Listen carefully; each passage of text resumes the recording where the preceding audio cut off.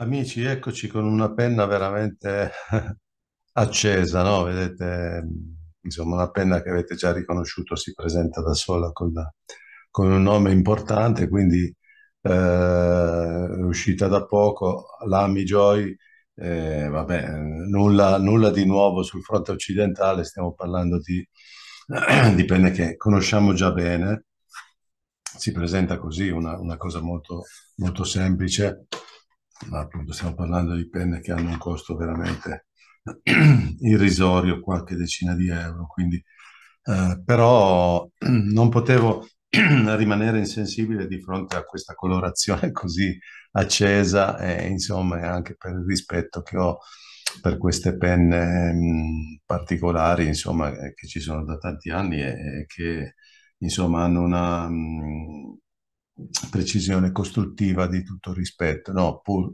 contenendo molto eh, il loro prezzo.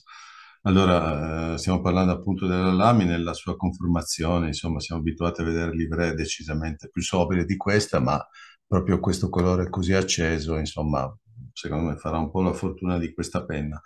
Eh, ha la sua conformazione, il suo stile un po' a stiloforo, con la prensione qua eh, ergonomica, eh, diciamo, eh, vincolata. Io odio un po' queste penne eh, che, ab- che hanno quelle prensioni così che ti costringono, però devo ammettere che qua è molto comoda perché la svasatura qua mi permette eh, alle dita di non scendere verso la punta e eh, qua sotto è- ecco, l'errore che a volte si fa è di dare un altro, un altro spigolo qua con conseguenti problemi perché magari alcuni lo trovano agevole, altri decisamente no.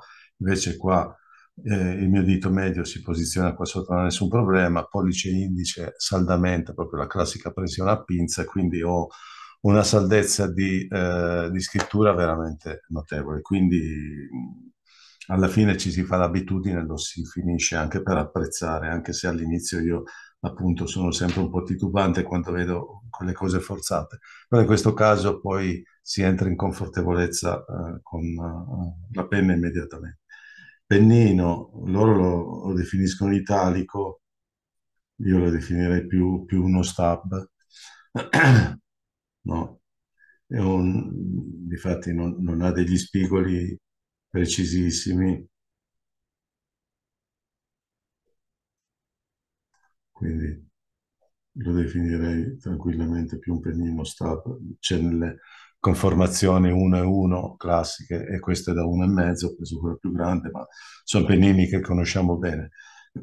E chiaramente mi permettono di fare delle, delle calligrafie, delle grafie, diciamo, gestuali veloci, rapide, senza intoppi, con una distribuzione dell'inchiostro, lo vedete, molto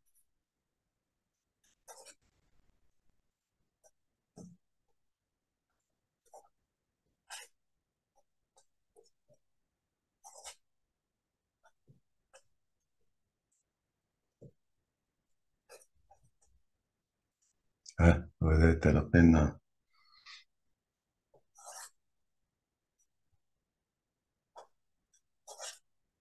vedete, mi segue in qualsiasi...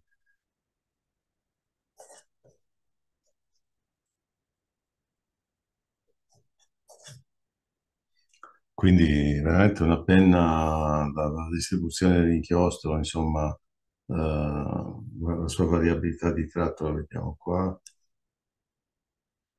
Chiaramente non è un finissimo, difatti appunto vi dicevano appunto un po' arrotondata, ma che permette però di utilizzarla convenientemente. Vedete qua la bellezza del tratto in questa L, no? È tutto, anzi andiamo a vederlo più da vicino così ve ne faccio apprezzare. Ok, lo vedete?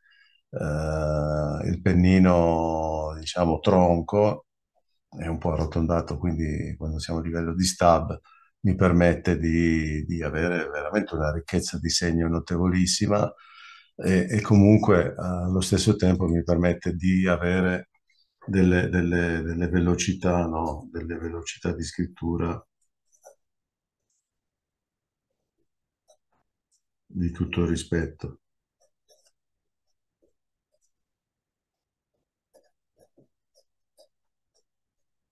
Chiaramente mh, nella versione 1 e 5 insomma, la scrittura diventa importante, un po' spessa, insomma, bella, insomma, da, da- da- insomma, da- forte impatto visivo. Eh, poi altra cosa, eh, chiaramente ci sono tantissime altre penne, anche molto più costose e belle, che mi fanno poi più o meno le stesse cose. Anche lì cosa conviene fare? Beh, siamo, siamo al solito modello dicotomico.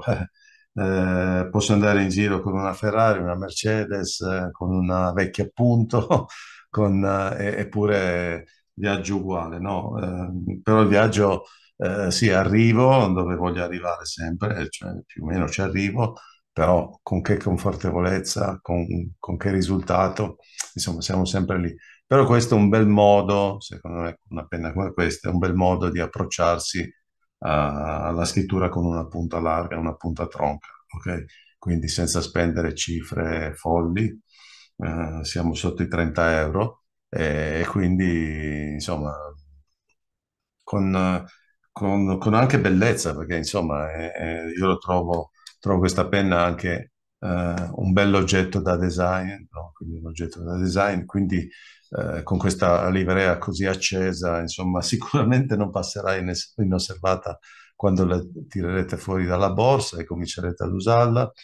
Eh, c'è la variabile appunto anche da 1 e 1 che consente di avere insomma una grafia un po' più eh, diciamo elegante, più, più stretta, più, insomma, più filante, quindi insomma, eh, quindi con poco ci si può dotare veramente di, di due belle frecce nella propria fareta.